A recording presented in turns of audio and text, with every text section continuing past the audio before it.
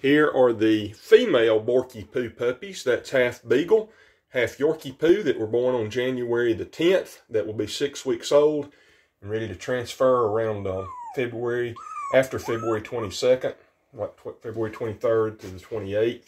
These are all females, and here are the males.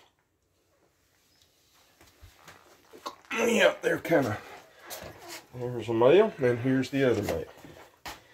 Okay, so there's two females that are a little bigger, and there's two males that are a little bigger, and then there's the two females that are a little smaller.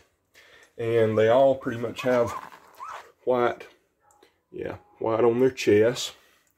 And we're going to be doing the selection process starting in um, when they turn six weeks old, around February the 23rd after they've had their vet check and we know their health status. Right now, they're just still, they've just turned four weeks old, so they're not moving around a whole lot yet. but they will be over the course of the next week or two. They'll get, start getting really active. Okay, thank you.